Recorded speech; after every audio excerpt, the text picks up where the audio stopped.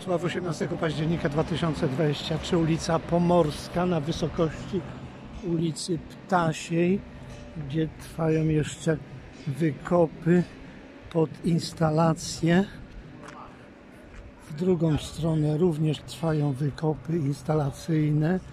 Część do zrobienia, do wylania betonu, ułożenia torów tramwajowych.